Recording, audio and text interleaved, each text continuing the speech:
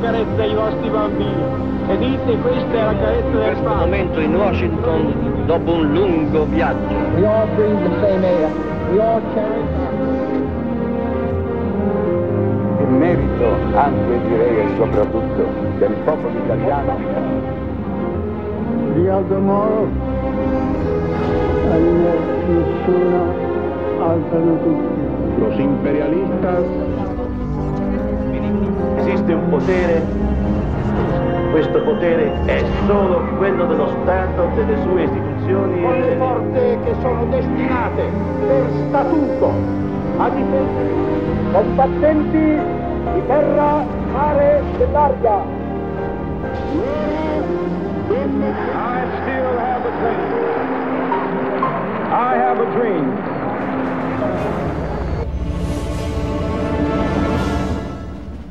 L'uomo in divisa da generale dell'esercito americano sta per lasciare l'unica cosa che sa dare un senso alla sua vita. Il campo di battaglia, l'odore della guerra.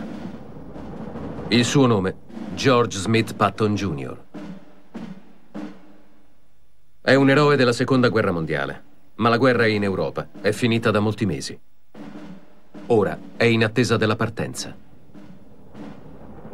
Per l'ultima volta compie un pellegrinaggio a Salzburg, una fortezza di epoca romana che vide le imprese di Adriano, il grande imperatore che, come Patton, era anche uno straordinario generale.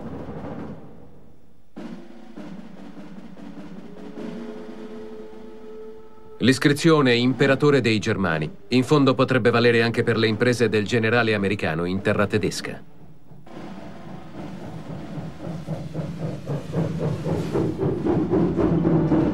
Queste sono le ultime ore che Patton trascorre in Germania, prima di tornare negli Stati Uniti. Ma il 21 dicembre 1945 perde la vita in un misterioso incidente automobilistico. Ma fu davvero un incidente? Qualunque sia stata la causa della morte, l'eroe del Nord Africa, della Sicilia e delle Ardenne non ha più lasciato la fortezza Europa.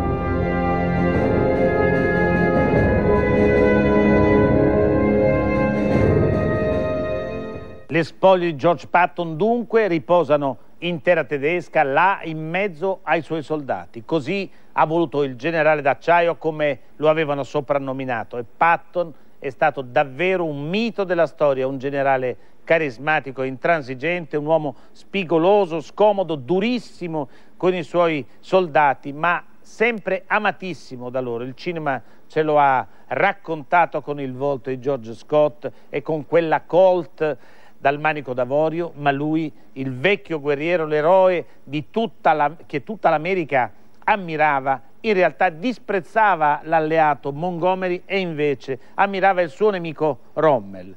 È stato l'eroe della campagna del Nord Africa, dello sbarco in Sicilia e della battaglia del ponte di Remagen. E questa è la sua storia.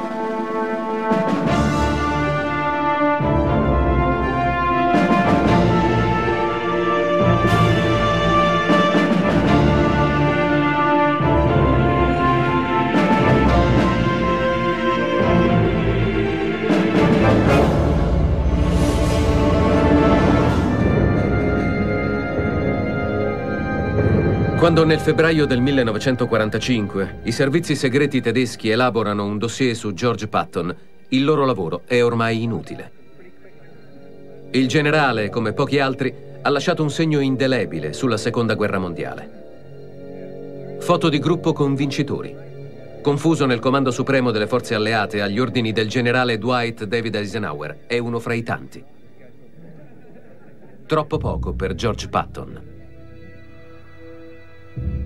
Per il generale, l'esercito americano e la guerra contro Hitler sono stati l'occasione per entrare nella leggenda. George Smith Patton Jr., un generale, una uniforme e un cinturone da cowboy con due Colt single action dal calcio in avorio. Affronta Hitler e la sua Wehrmacht come un eroe western nel duello finale, aprendo caparbiamente la via alla vittoria alleata sul Terzo Reich. Ma è anche una delle figure più controverse della Seconda Guerra Mondiale. Patton è un soldato fermamente convinto di essere stato scelto da Dio per difendere la sua patria dall'aggressore nazista.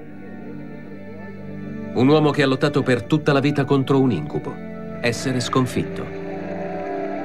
un generale che ha combattuto in prima linea e ha contribuito alla fine del Reich di Adolf Hitler. Eppure, alla fine della guerra, ha provato imbarazzanti simpatie per l'ideologia nazionalsocialista. Un eroe americano per il quale la guerra ha rappresentato anche una compensazione affettiva. Dannazione! Non è facile dire a persone che si amano andate e fatevi uccidere. Noi dovevamo dirlo. E per Dio, loro sono là fuori e hanno vinto. Ma io vorrei ricordare a tutti voi che il sacrificio di questi uomini non deve essere stato compiuto in vano. A certe volte pensavo che fosse un brutto figlio di ma era anche una persona dannatamente per bene. Lo seguivamo ovunque. Se avesse detto salta, noi avremmo chiesto quanto. Davvero.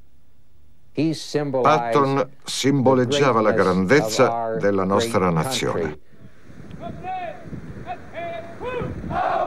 Fort Knox, Kentucky. Nel Patton Museum sono conservate le memorie di una guerra che gli Stati Uniti hanno combattuto e vinto pagando un prezzo altissimo in vite umane. È passato più di mezzo secolo, ma qui tutto sembra riportare a quei giorni. Una montagna di ferro e acciaio che ha reso gli Stati Uniti una potenza mondiale. Al centro la sala Patton. Qui le giovani leve hanno modo di conoscere l'uomo che più di ogni altro incarna un ideale di patriottismo un po' roboante che il cinema americano ha trasferito in un film di culto, Patton Generale d'acciaio. Era uno dei migliori. Ha fatto sì che l'esercito americano diventasse il più forte del mondo. Bene. Ha dedicato tutta la vita ad essere un buon soldato. Bene. George Patton ha soddisfatto pienamente la propensione al gesto eroico che ha in molti americani. Nessun altro è riuscito a celebrare valori tanto condivisi come l'ideologia del selvaggio West e lo spirito pionieristico.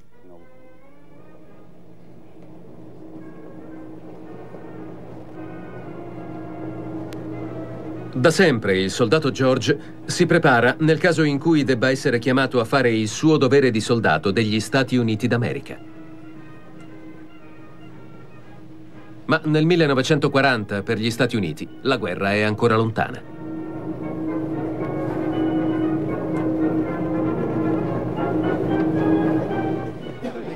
Il presidente americano Roosevelt intende attenersi rigidamente alle leggi della neutralità. Nessun soldato americano per una guerra in Europa o in qualunque altra parte del pianeta. Un coinvolgimento diretto degli Stati Uniti nel conflitto è impensabile. Quando la Wehrmacht tedesca dilaga in Francia, la futura potenza mondiale statunitense ha meno soldati in armi del piccolo Belgio, appena travolto dai tedeschi, circa 200.000 uomini. Per un uomo come George Patton, una prospettiva sconcertante. Mio nonno non stava in attesa di una guerra, pregava perché ne scoppiasse una nuova. Oggi rimarremmo sconvolti nel leggere le lettere che scriveva a casa. Diceva che invidiava i soldati della Prima Guerra Mondiale. Gli sarebbe tanto piaciuto tornare a quegli anni. Noi sappiamo che era stato un orrore inimmaginabile, ma lui credeva che solo con una guerra fosse possibile conquistare onore e gloria. Lo pensava nel profondo del cuore. 1917-1918. Patton partecipa a quella gloriosa epoca che era stata la Prima Guerra Mondiale. Ma per il generale, che qui vediamo in alcune scene familiari degli anni 30, è già passata un'eternità. Per molti ufficiali del ridotto esercito americano, gli anni successivi alla Prima Guerra Mondiale sono di snervante attesa di qualcosa che dia un senso alla loro vita. Anche Patton non nutre alcun interesse per incarichi da assolvere in tempo di pace. 1910. George si sposa e ha un figlio maschio e tre femmine. Nel suo diario scrive Mi devo occupare delle cose più stramaledettamente inutili che abbia mai dovuto fare in vita mia. Spero solo che venga una dannata guerra.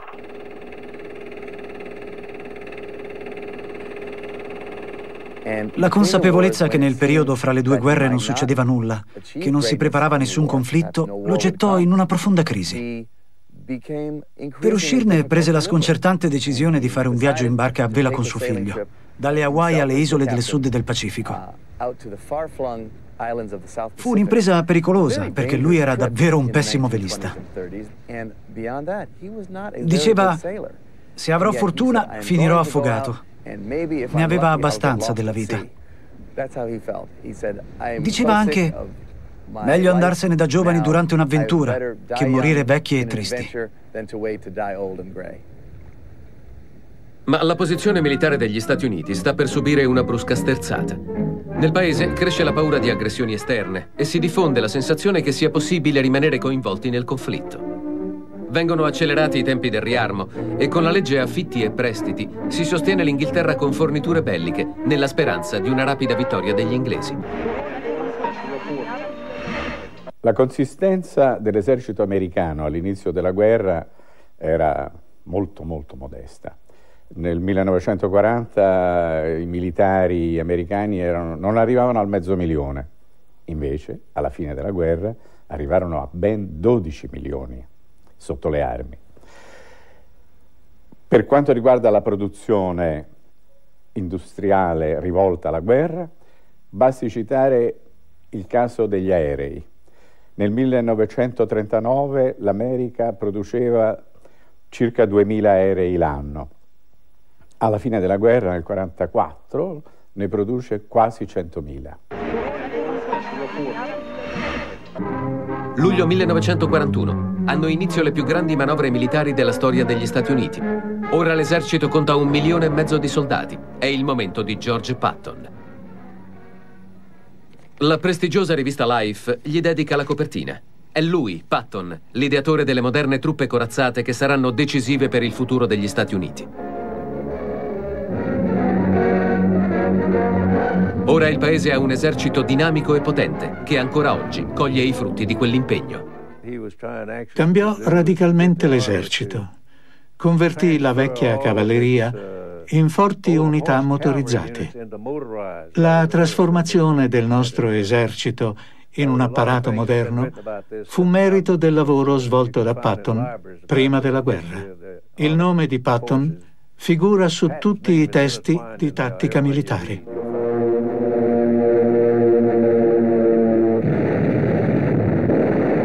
7 dicembre 1941. Attacco giapponese a Pearl Harbor. Una data storica per gli Stati Uniti e per George Patton.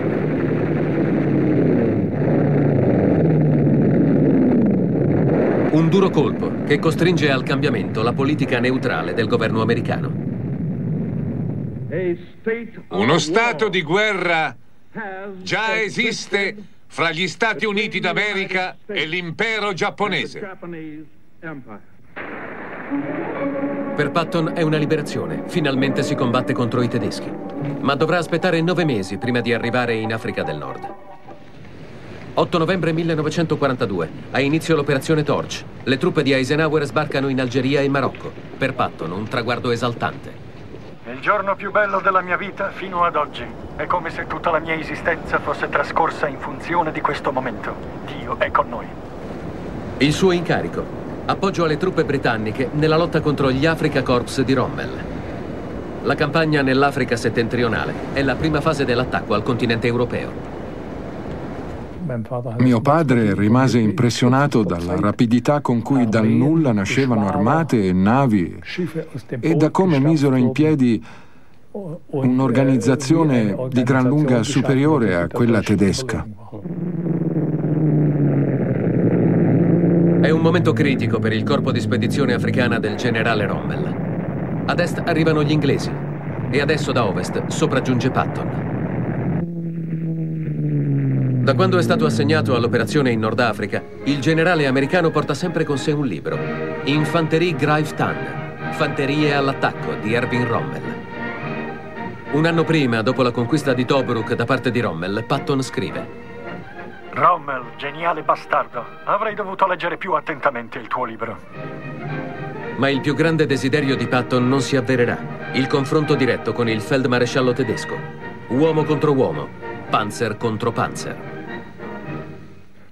Mio padre avrebbe trovato qualcuno che avrebbe duellato per lui. Non credo che l'avrebbe fatto. Certo, mio padre non era poi così male, era un vecchio ufficiale di fanteria, non era da sottovalutare. Ma anche i cowboy avrebbero incontrato delle difficoltà. Patton però non ha di fronte solo il feldmaresciallo Rommel, che pure ammira tanto, ma anche il comandante in capo delle truppe alleate, il maresciallo Montgomery. Patton non digerisce molto l'idea di dover sottostare a qualcuno, soprattutto se si tratta di un inglese. E in particolare... Di quello spocchioso di Montgomery.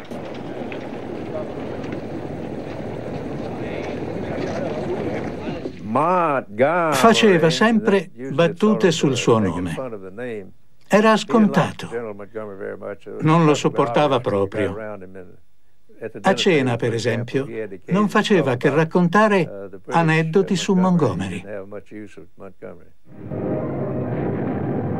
Nei primi mesi di combattimenti in Nord Africa, gli americani, meno preparati allo scontro, subiscono pesanti sconfitte ad opera dei tedeschi.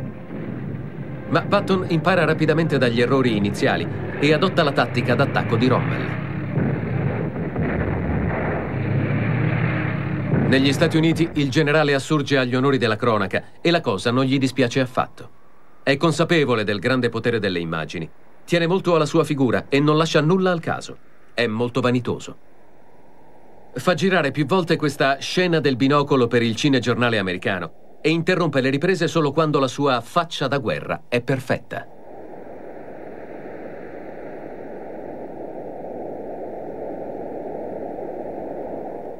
Non riuscì più a liberarsi da quella maschera di superiorità, sicurezza e invincibilità che si era cucito addosso. Né riuscì a stemperare la durezza acquisita in guerra e a mostrare il suo lato più debole che in famiglia conoscevamo bene. Con l'età perse tutto questo, anche la sensibilità. Era una maschera.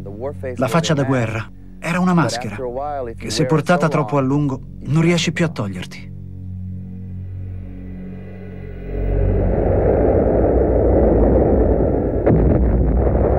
La vittoria contro i tedeschi in Nord Africa, per gli anglo-americani si apre un nuovo fronte. 11 luglio 1943. Gli alleati sbarcano in Sicilia. Sono finalmente sul continente europeo. L'operazione Aschi ha una forza d'urto che sorprende anche i tedeschi. Poi l'avanzata si arresta drammaticamente. Sulla costa orientale dell'isola le truppe di Montgomery sono impegnate in duri scontri contro i tedeschi. Il loro obiettivo, Messina, circa 150 km a nord, verrà raggiunto solo dopo alcune settimane. Anche gli americani incontrano forti difficoltà. Patton non ha dubbi. Per raggiungere Messina girerà la Sicilia.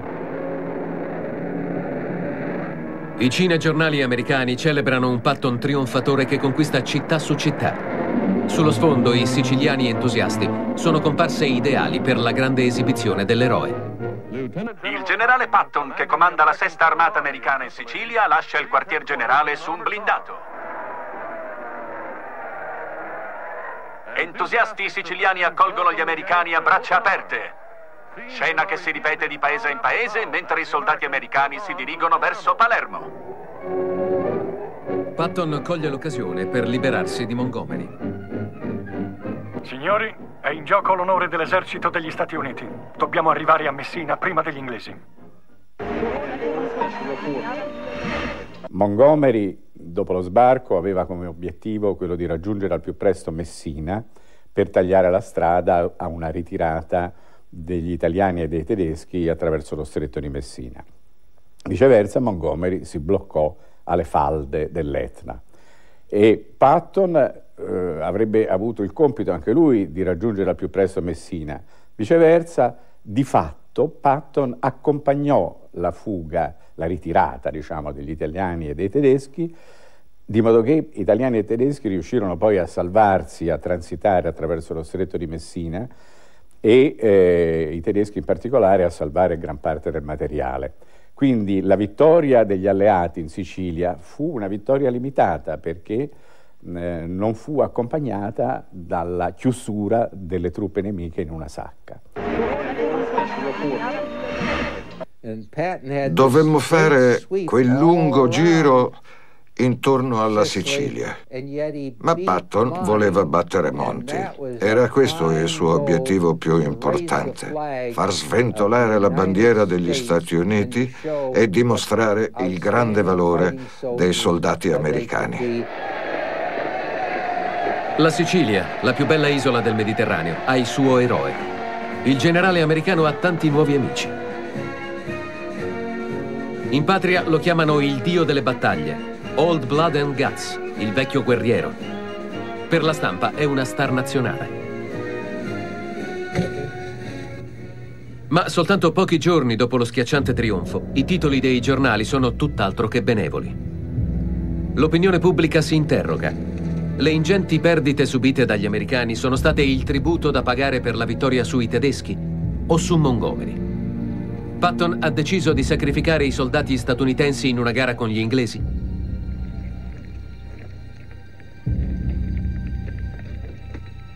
Visita del generale in un ospedale da campo. Davanti ad ufficiali americani gravemente feriti, schiaffeggia due soldati semplici che, a suo dire, sarebbero semplicemente in preda ad uno shock da combattimento. Questa cosa suscitò un grande scandalo, sia fra i, i militari americani che lo seppero, sia anche nella, eh, fra i giornalisti corrispondenti di guerra. Uno di questi giornalisti del Saturday Evening Post andò da Eisenhower, che era il comandante di Patton, e gli disse, guardi che è successo questo episodio increscioso che potrebbe portare il suo generale Patton davanti a un tribunale militare perché ha commesso un reato. Al che Eisenhower si seccò molto. La stampa americana non parlò mai dell'episodio, ma eh, Eisenhower mandò una lettera durissima a Patton, gli chiese di scusarsi con il soldato e in più parlando con un suo aiutante di campo, Eisenhower disse eh, a volte i generali impazziscono. Patton, l'eroe con la faccia da guerra, mostra un evidente disagio psichico. È assillato da un senso di inferiorità che risale ai giorni dell'infanzia. Se si vuole comprendere Patton uomo, bisogna studiare Patton da giovane quello che nessuno conosce. C'è il Patton costruito dalla stampa e il Patton vero, quello creato da Dio.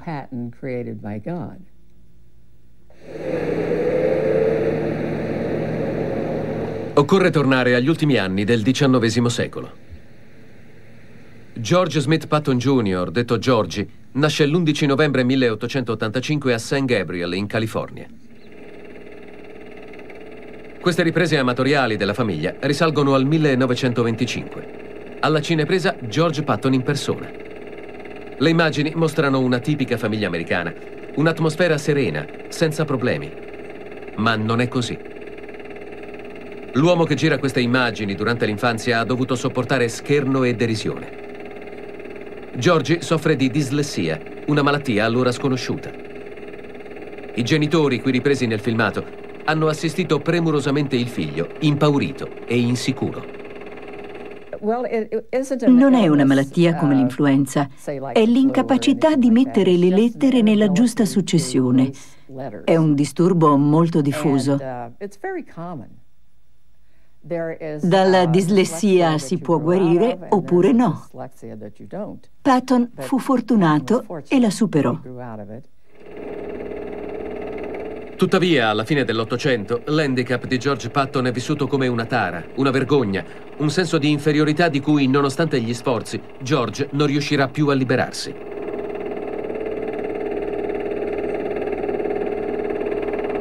Ciò nonostante, il padre manda Georgie in due accademie militari. È una tradizione familiare da rispettare ad ogni costo. L'Accademia di West Point, a nord di New York. George è un giovane ambizioso. Il suo sogno è diventare il più famoso ufficiale dell'esercito americano. Vuole essere più importante dei suoi antenati. Ma Georgie ha qualche problema. In molte materie va male ed ha voti pessimi. Per il diciottenne Patton la dislessia è un problema enorme. Ingaggia perciò una permanente lotta interiore contro se stesso e il proprio handicap. Scrive al padre. Caro papà, temo di essere un sognatore che non avrà mai successo. Non riesco a immaginare un inferno peggiore di una vita da perdente. Sarebbe molto meglio morire.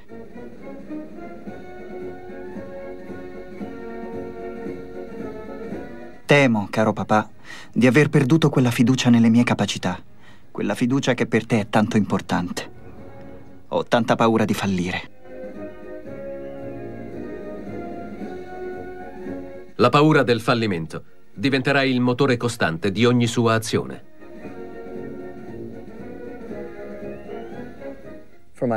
La paura di fallire è la chiave di volta della personalità di mio nonno. Da bambino aveva paura della sua dislessia. Da adulto aveva paura che i suoi sogni di gloria militare non si realizzassero. A West Point convivevano entrambi i suoi incubi. Si occupava di questioni accademiche e cullava il sogno di una fulgida carriera militare. Il timore che questo non potesse realizzarsi lo ha quasi ucciso. Ha avuto bisogno dell'aiuto della famiglia perché era estremamente insicuro. A West Point, George, qui in primo piano, si dedica alla cosa che più lo affascina, la storia militare. Divora testi di strategia militare. I suoi preferiti sono gli autori e i generali tedeschi e francesi, che legge anche in lingua originale. Le note a margine, che risalgono a questi anni, denotano una competenza piuttosto sorprendente. Il giovane Patton mostra acume nelle questioni strategiche.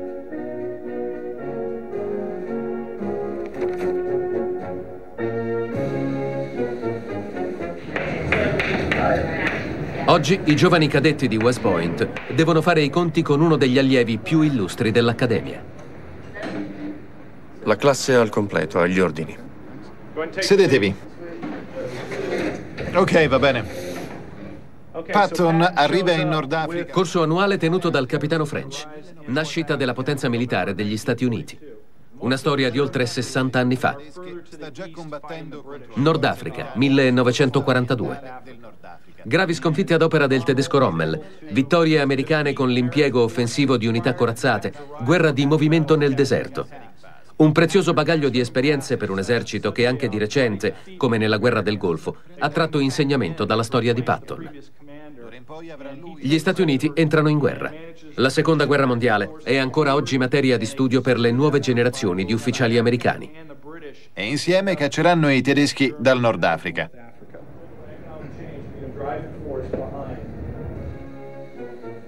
1909. George Patton è a West Point. Tre anni dopo, all'Accademia, entra un giovane cadetto che nella Seconda Guerra Mondiale sarà il superiore di Patton, Dwight David Eisenhower. Douglas MacArthur, Eisenhower e naturalmente Patton. A tre dei più grandi generali americani è stato eretto un monumento. Eisenhower e Patton si voltano le spalle. Casuale fantasia d'artista?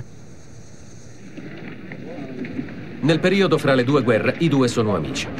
Ma il rapporto cambia quando nel corso del secondo conflitto mondiale Eisenhower viene promosso comandante supremo delle truppe alleate in Europa. Patton diventa un suo sottoposto.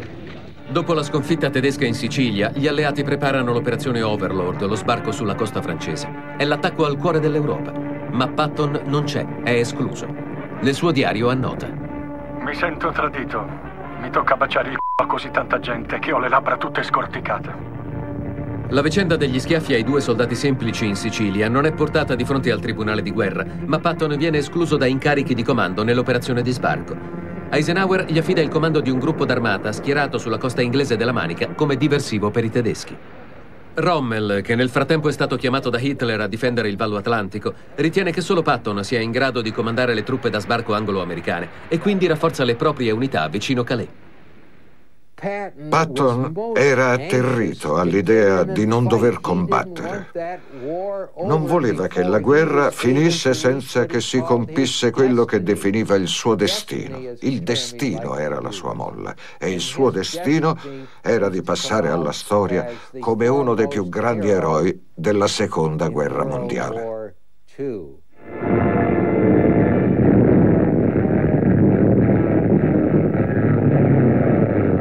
6 giugno 1944. Patton è costretto ad assistere allo sbarco in Normandia, senza avere alcun ruolo.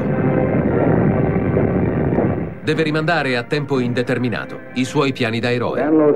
Il generale Patton con la sua armata avanzano a una velocità sorprendente. 28 luglio 1944.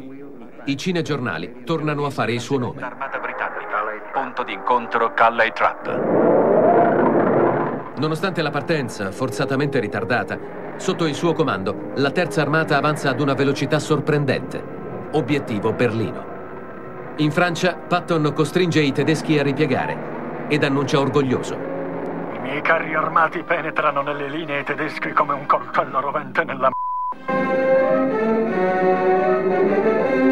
L'iniziativa personale di Patton e la sua avanzata creano ancora una volta un problema per la strategia generale degli alleati. Il comandante supremo delle forze anglo-americane, Ike Eisenhower, decide di negare gli approvvigionamenti a Patton. Gli viene razionato il carburante. Patton è convinto che dietro questo boicottaggio ci sia lo zampino di Montgomery. Il suo rivale inglese deve aver chiesto ad Eisenhower il dirottamento delle scorte di benzina nella zona che gli inglesi stanno occupando a nord. Alcuni ufficiali americani ritengono che il loro comandante avrebbe ceduto ai capricci egoistici del generale britannico. In una situazione del genere solo Eisenhower aveva una visione complessiva delle condizioni e del ruolo degli alleati. Riusciva a tenere insieme britannici, canadesi, francesi e americani. Patton, al contrario, si è sempre sentito discriminato. La si può pensare come si vuole, ma Eisenhower era un maestro. Nel 1944, in Francia e in Belgio, ci furono dei contrasti molto forti tra Patton e Montgomery, a proposito dei rifornimenti.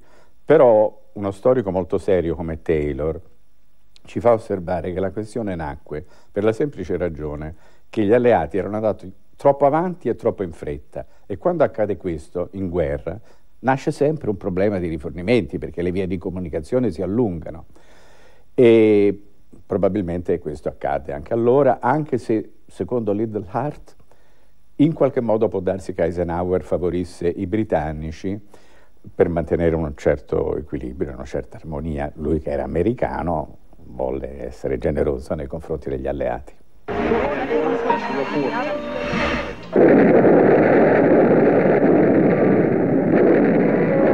Inverno 1945. Nel giro di poche settimane Francia, Belgio e Lussemburgo vengono riconquistati dagli alleati.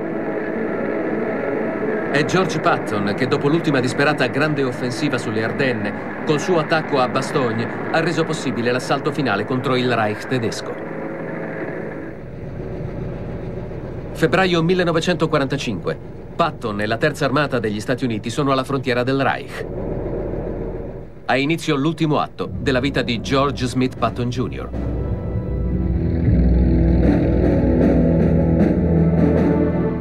A Bollendorf, al confine con il Lussemburgo, il generale mette piede per la prima volta sul suolo tedesco. Patton è finalmente giunto dove dall'8 novembre 1942, dallo sbarco in Africa del Nord, gli americani volevano arrivare, il Reich di Hitler.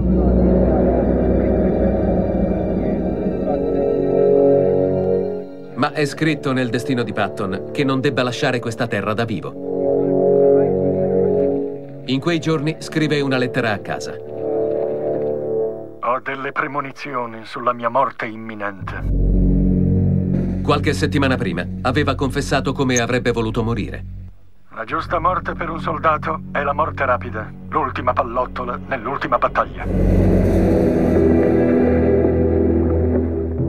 22 marzo 1945. Patton è sulle rive del Reno. Senza grossi clamori, conduce una parte della sua armata sull'altra sponda del fiume del destino dei tedeschi. È ancora notte quando Patton esorta il suo superiore, il generale Omar Bradley, a comunicare alla stampa il suo successo. Telefonò a Bradley. Dio santo, Brad, che aspetti? Dillo a tutto il mondo. La terza armata ha attraversato il Reno. Il motivo di tanta fretta? Montgomery. Patton non avrebbe mai sopportato che proprio il generale inglese attraversasse il Reno prima di lui, e inoltre alla presenza di ospiti d'eccezione. Patton è condannato a vincere, sempre e ad ogni costo. Sì, voleva dimostrare a tutti quanto valeva, voleva essere il primo. Nel suo vocabolario la parola secondo non esisteva. Voleva sempre essere primo, tutto qui.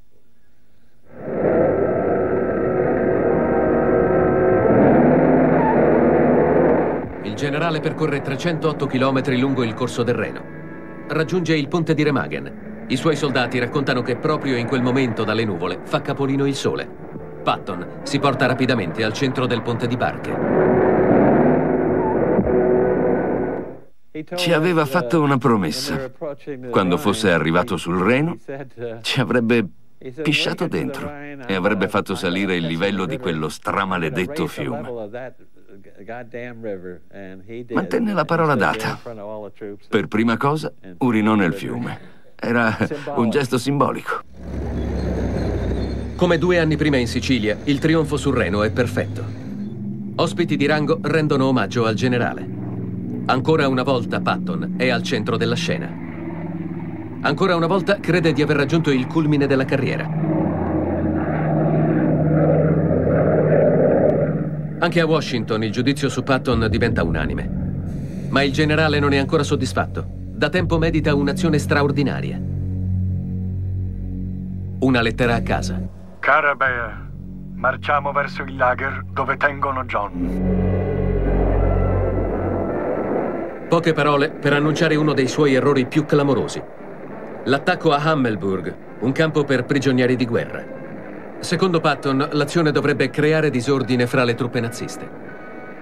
Ma Hammelburg si rivela un fallimento totale. Inoltre, secondo l'accusa, il generale avrebbe mandato al massacro i soldati americani solo per liberare il marito di sua figlia.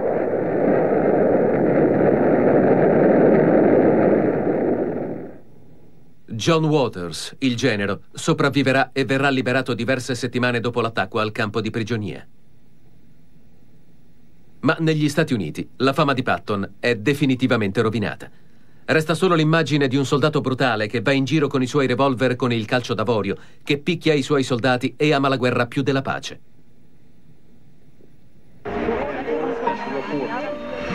Si dice spesso che Patton volle tentare di liberare il campo di prigionia di Hammelburg per liberare il genero che si trovava lì. In realtà io credo che ci fosse anche un'altra ragione e la ragione era quella lì di contenere l'espansione dell'Unione Sovietica, ridurre la zona di occupazione dei sovietici in Germania. Proprio per questo il caso Patton in quel momento suscitò anche le ire di Stalin perché Stalin capì benissimo qual era l'obiettivo di Patton, Io, non suo genero ma qualcosa di più importante.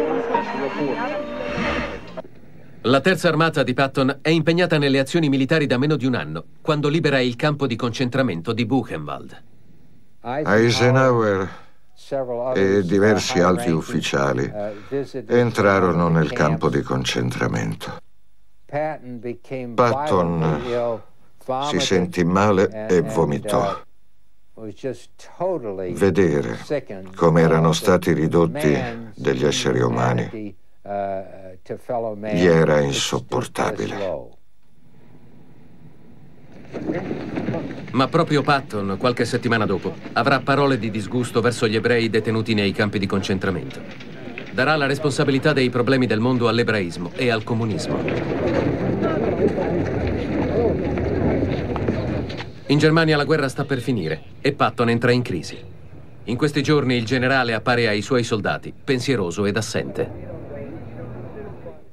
Negli ultimi mesi della guerra, quando sapeva che la fine era vicina, che la sconfitta di Hitler ormai era solo una questione di tempo, nelle lettere che scriveva a casa cominciò a parlare non della gioia per la fine della guerra, ma di una sorta di paura per il proprio futuro.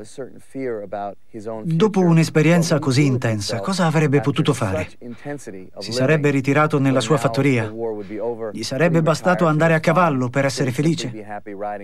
Temeva di no. 8 maggio 1945. I cannoni, i carri armati e l'artiglieria della terza armata di Patton, dopo l'ultimo saluto, tacciono. In città e nelle campagne circostanti regna la calma. La guerra è finita. Hip hip hooray, hip hip hooray. There be some stomping and some jumping on beat day. The Siegfried line drive is on. Come on, you Yanks, let's all drive home. Went into old Berlin. you run, you close up shop and do the V-Day stomp. It's true about the Yanks and France, the girls all like their brand of romance. They even like the way they romp when they do the V-Day stomp.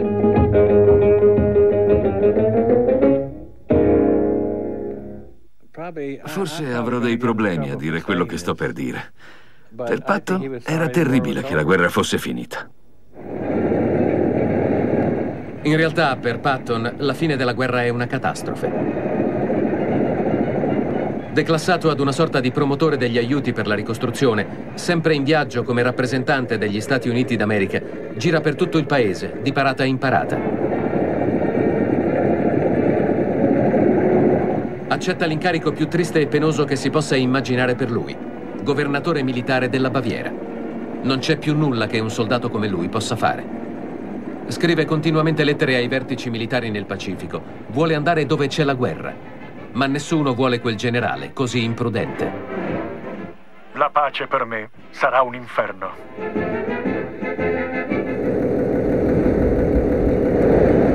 Negli otto mesi successivi alla fine della guerra in Europa, l'eroe decorato con le quattro stellette è in continuo fermento e non perde occasione di far parlare di sé.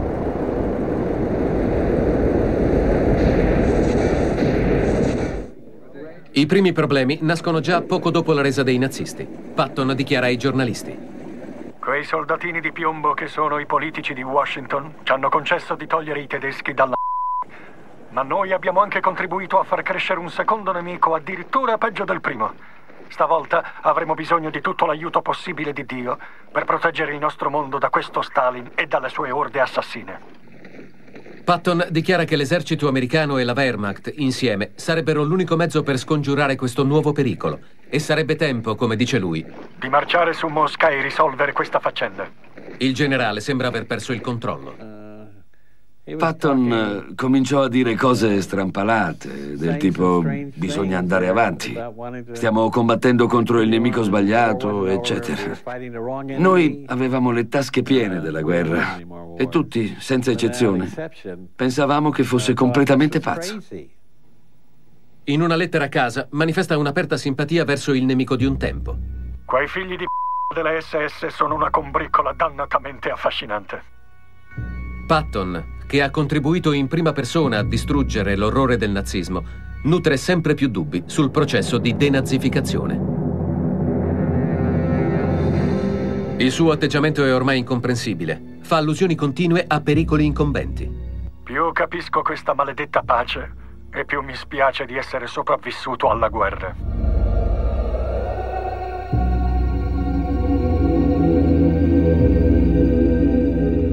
È sempre più attratto dai luoghi dove immagina riposino i suoi pari, i numi tutelari della cultura militare tedesca. Entrare nel Pantheon degli immortali. Questo è da sempre il sogno di George Patton.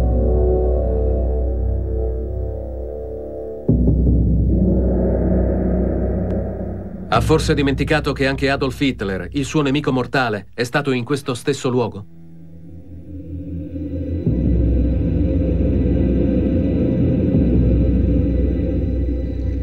Settembre 1945, conferenza stampa a Bud Tölz.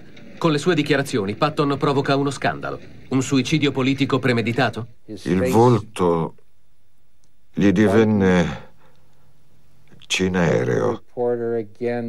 Poi cominciò a parlare. Quello nazista è solo un partito come tutti gli altri, come quello democratico e quello repubblicano. Non si sentiva volare una mosca. I giornalisti avevano il loro pezzo da prima pagina. Mentre andavamo via, Patton mi disse una dichiarazione da pazzo furioso, ma non volevo togliere la soddisfazione a quei figli di puttana di sentirmela fare.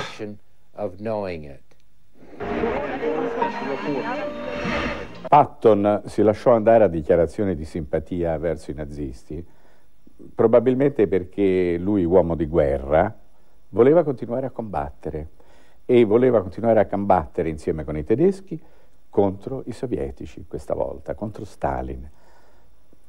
Io credo che lui si fosse reso conto che in quel momento c'era un'occasione, dato che i sovietici erano esausti. E quindi sarebbe stato possibile sconfiggerli rapidamente.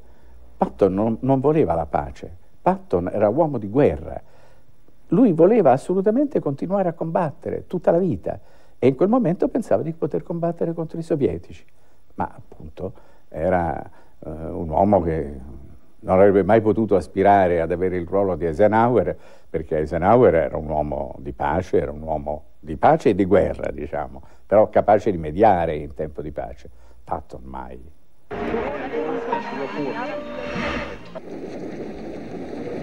Il generale Patton non è più credibile. Gli viene tolto il comando della terza armata. Anche Eisenhower volta definitivamente le spalle al suo amico di un tempo. Quando ci siamo detti addio avevamo tutti e due le lacrime agli occhi. Il giorno dopo assunse il comando di un'armata che però esisteva solo sulla carta. Voleva scrivere la storia della terza armata. Adesso, per il comandante supremo, l'amicizia con Patton diventa inopportuna e imbarazzante. Eisenhower punta a incarichi più importanti e guarda Washington. Di nuovo la stampa americana ha una notizia sensazionale. In una lettera Patton fa i nomi dei veri responsabili dei suoi problemi e di quelli di tutta l'umanità, i comunisti e gli ebrei. Quando disse quelle cose sui nazisti e sugli ebrei, mia nonna disse di non essere affatto sorpresa. Lei stessa ce l'aveva molto con Eisenhower perché l'aveva assegnato a quell'incarico. Diceva, nessuno meglio di lui poteva sapere che George non era per niente adatto per quella mansione. George è un combattente. Una breve visita negli Stati Uniti. È estate e il generale visita per l'ultima volta il luogo dove è nato. A St. Gabriel, Patton è un eroe indiscusso ancora oggi. Qui c'è la piccola chiesa dedicata a Gesù Cristo Redentore. E immediatamente vicino al Redentore c'è anche il generale. Anche di fronte all'Onnipotente, Patton sembra mantenere il suo atteggiamento inflessibile. Benvenuti nella chiesa di Nostra Signora in San Gabriel in California. Questa chiesa è stata progettata nel 1867 e fu costruita nel 1870 su un terreno donato da Don Benito Wilson, il nonno di George Patton. Qui la gente è fiera del generale e di tutta la famiglia Patton. Proprio gli antenati di George hanno donato il terreno per la piccola chiesa costruita nel 1870.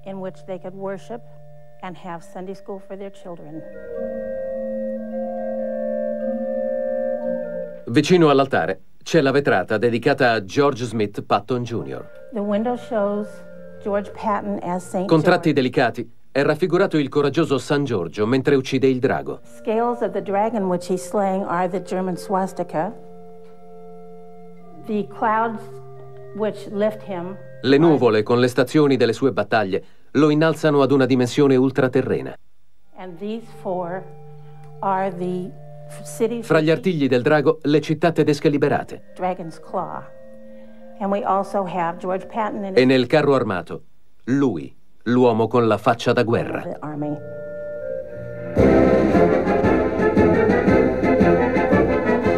Los Angeles viene festeggiato calorosamente.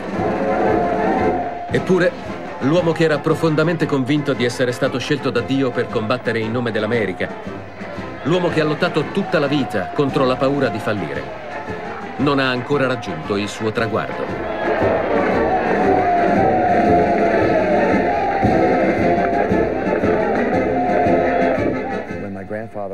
Era l'ultima tappa della sua parata per la vittoria. Ma dentro di sé mio nonno aveva già detto addio ad ogni cosa. Tutti credevano che si sentisse come un condottiero o un re che tornava in patria per essere incoronato. Ma non era questo il suo stato d'animo. Allo stesso modo non fu contento della visita alla sua fattoria, ad Hamilton, nel Massachusetts, perché dentro di sé non aveva ancora risolto il problema della pace e del suo futuro. Voleva tornare in Europa. C'era un tarlo che lo rodeva, una specie di macchia scura nella sua mente. Credo che fosse il presagio della morte che si avvicinava. Penso che Patton fosse un uomo molto intelligente e capace, però anche le parole del nipote ci fanno capire che era un uomo molto disturbato. E anzi, mi viene in mente ciò che disse un grande psicologo, Wilfred Bion, il quale tra l'altro aveva studiato proprio le truppe americane durante la seconda guerra mondiale e aveva studiato dei gruppi di militari messi a disposizione dall'esercito degli Stati Uniti ed era arrivato alla conclusione che in ogni gruppo si forma spontaneamente una gerarchia e che di solito il capo di questa gerarchia è sempre la persona più disturbata. Ora Patton, tra l'altro, aveva sofferto di una dislessia, cioè di una malattia molto grave, da giovane è una malattia per la quale è molto difficile leggere e scrivere. Era riuscito a superare la dislessia con uno sforzo, ritengo, enorme, ma il suo carattere era sicuramente stato marcato da questa disavventura e lui era continuamente alla ricerca di un'affermazione di se stesso attraverso il comando e in più attraverso la guerra perché la amava.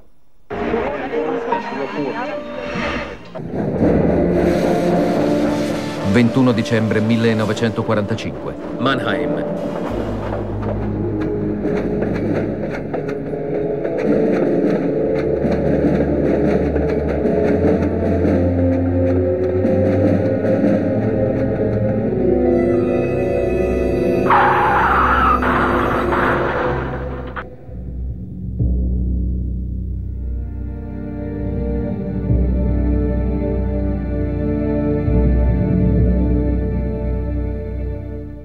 21 dicembre 1945. Ad Heidelberg è morto il generale Patton.